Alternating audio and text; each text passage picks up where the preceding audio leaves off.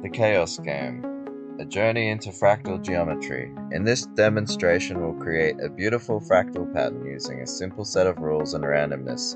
The process reveals how order can emerge from apparent chaos. How it works. 1. Start with a regular hexagon. 2. Pick a random starting point.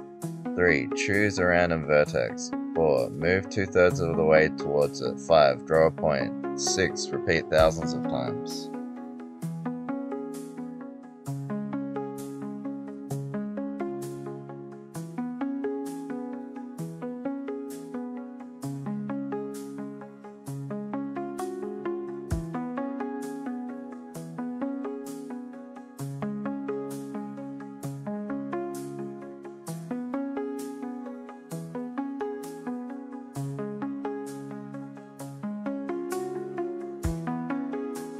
Thank you for watching.